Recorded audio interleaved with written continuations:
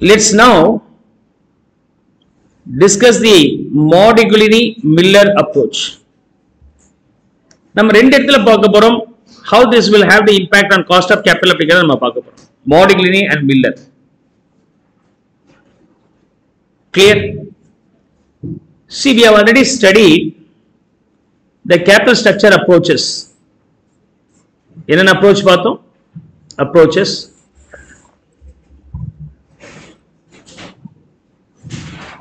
What are the approaches we have seen? Net income approach, net operating income approach. Then another one is all about traditional approach. Net income அப்ரோச்ல என்ன சொல்றாங்க அப்படின்னு சொன்னாக்க எது change ஆகும் net இன்கம்ல அப்படின்னு சொன்னா கம்பெனியோட overall cost of capital change ஆகும் if debt equity mix changes okay if debt equity mix change ஆச்சுன்னா what could be the impact sir K O change ஆகும். என்ஒயில கேஓ சேஞ்ச் ஆகாது. கம்பெனியோடைய காஸ்ட்ல ஒன்றும் குறைக்க முடியாது. நீங்க சீப்பரான ஃபண்டிங்னு நீங்க சோர்ஸ் பண்ணாலும் குறைக்க முடியாது.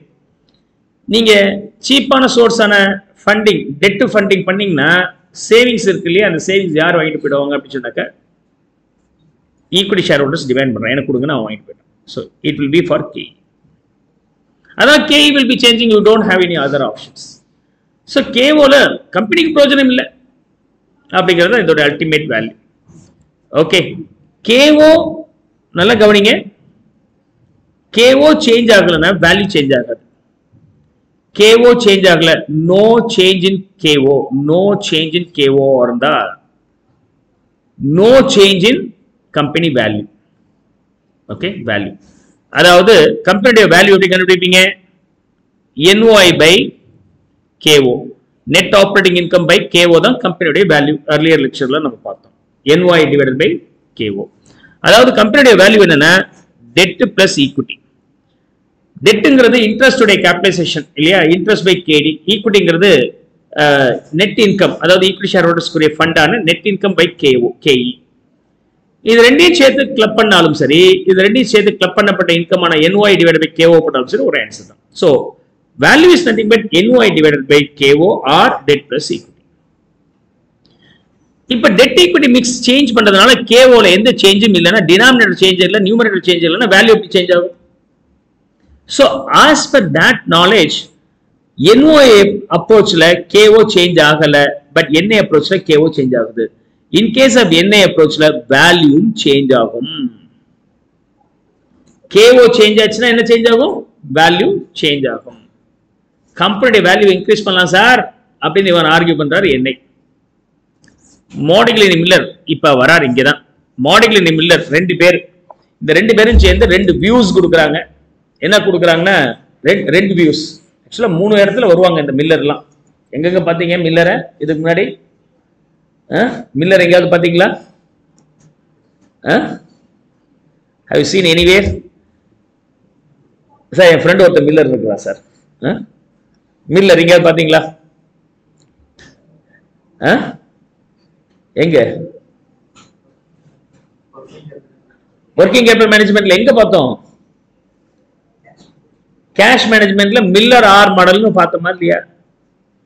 மில்லர் ஆர் மாடல் இந்த மார்னிங்ல இந்த மில்லர் ரெண்டு இடத்துல வந்து சஜஷன் கொடுக்குறாங்க. கேபிட்டல் ஸ்ட்ரக்சர் இரலவன்சி என்ன சொல்றாங்க? கேபிட்டல் ஸ்ட்ரக்சர் இரலவன்சி தியரி நீங்க கேபிட்டல் ஸ்ட்ரக்சரை என்ன சேஞ்ச் பண்ணாலும் டெட் ஈக்விட்டி என்ன சேஞ்ச் பண்ணாலும் வேல்யூ சேஞ்ச் ஆகாது. வேல்யூ சேஞ்ச் ஆகுதுங்கிறது எந்த அப்ரோச்ல இருக்கு நமக்கு? ம்? எதுல இருக்கு? என்ஓஐல இருக்கு. அப்படின்னா அவர் எதற்கு ஓட்டு போடுறாரு? அவரை கூப்பிட்டு மார்னிங் மில்லத்தை இந்த ரெண்டுல எதுக்கு ஓட்டு போட போறீங்க அப்படின்னா அவர் எதுக்கு ஓட்டு போடுறாரு? என்ஒய் அதுக்கு என்ன பேர் யூஸ் பண்றார்? கேபிட்டல் ஸ்ட்ரக்சர் இரலன் நீங்க டெட்டை அதிகப்படுத்தினாலும் சரி அல்லது முழுக்க முழுக்க ஈக்விட்டியா இருந்தாலும் சரி ஒன்றும் பிரயோஜனம் இல்லை. அப்ப என்னதான் சார் பிரயோஜனம்? ஒழுங்கா வேலை செய்யுங்க. இல்லையா? லாபத்தை அதிகப்படுத்தணும்னால வேலை செய்யுங்கய்யா நீங்க டெட்டை ஈக்விட்டி மாத்துவீங்களா? அதனால லாபத்தை அதிகப்படுத்துவீங்களா? ஈக்குவிட்டி ஷேர் ஹோல்டர்ஸுக்கு அதனால வேல்யூ அதிகப்படுத்துவீங்களா? அதெல்லாம் செல்லாது செல்லாது. இங்க ஒரு இடத்துல பேசினார். டிவிடன் இரலவன்சி தியரின்னு அடுத்த சாப்டர் நம்ம படிக்க போறோம். டிவிடன் தியரியில அங்கேயும் பேசுறாரு. Modigliani Miller. இவர் என்ன சொல்றாரு? சார் நீங்க கடன் வாங்கி போட்டாலும் சரி சொந்த பணத்தை போட்டாலும் சரி கம்பெனிக்கு ஒன்றும் பிரயோஜனம் இல்லை சார் கம்பெனியோட வேல்யூ ஒன்றும் சேஞ்ச் ஆகாது.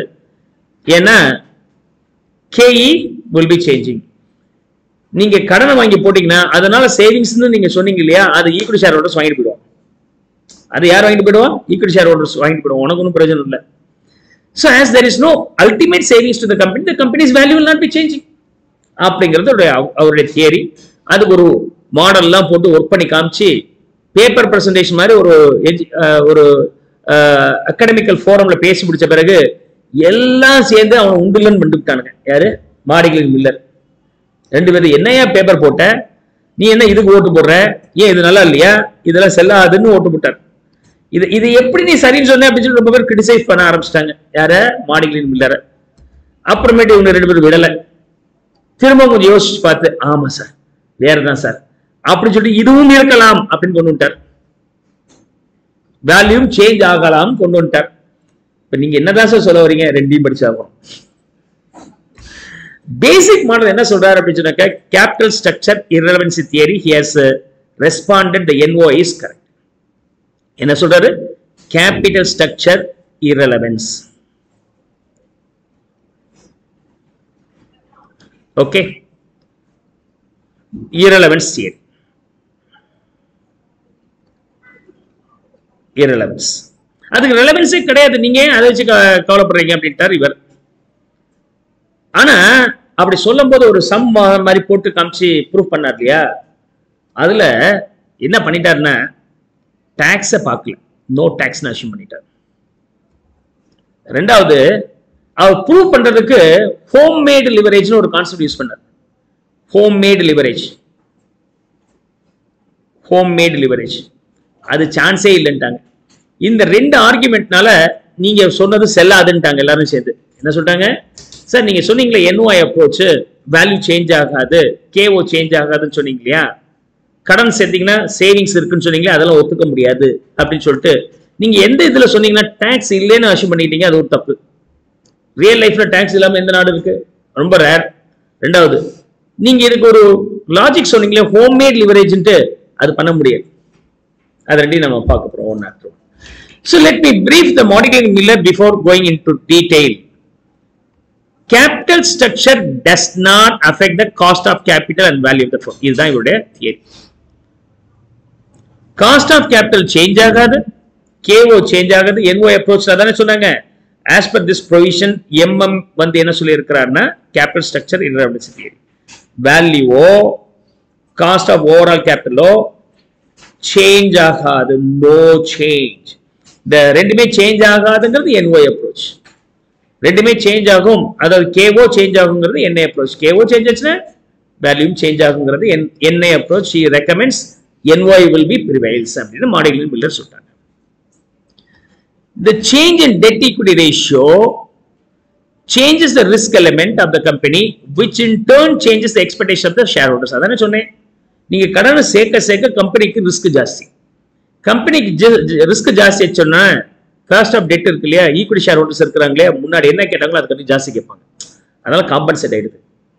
கடன் இல்லாத கம்பெனி அந்த பத்து பர்சன்டேஜ் கொடுங்க. கடன் ஜாஸ்தியாக பன்னெண்டு தருவியா? பதிமூணு தருவியான்றான். அந்த கடனை வாங்கி சேவ் பண்ணலாம்னு நினைக்கிறத அவன் இது போயிட்டான் ஓ அப்படின்ட்டாங்க. இந்த ரெண்டு தான் இவருடைய மெயின் லாஜிக்ஸ் ஆனா எம்எம் வந்து ப்ரூஃப் பண்றதுக்கு ஒரு கான்செப்ட் சொன்னார் இல்லையா? அந்த கான்செப்ட்ஸ் சில அசம்ஷன்ஸ் கொடுத்துருக்காங்க முத இதை இந்த ரெண்டு பாயிண்ட்டை அண்டர்ஸ்டாண்ட் பண்ணிடுங்க. Then will go for the assumptions